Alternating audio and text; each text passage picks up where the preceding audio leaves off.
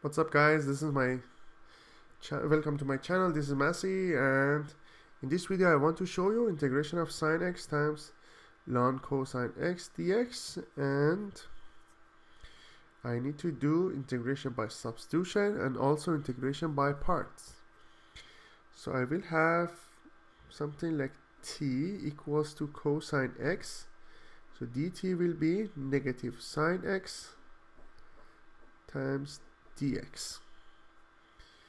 So sine x times dx will be negative dt. So it will be ln t times negative dt. So it's going to be negative ln t dt.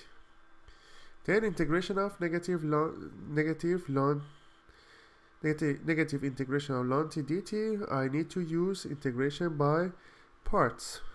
So 1 times ln t dt. Integration of u dv equals to u times v minus integration of v du.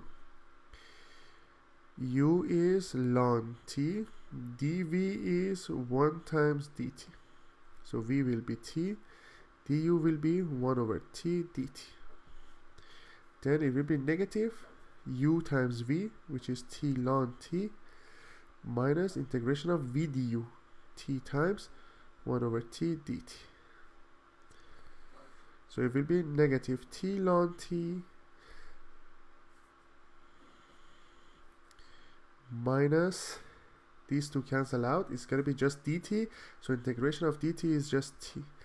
So it will be negative t ln t plus, because negative times negative is positive, plus c. Then t is cosine x, so it's, it's going to be cosine x minus cosine x ln cosine x plus c. So that will be the final answer to this question. Please leave me a comment if you have any question and I get back to you as soon as I can.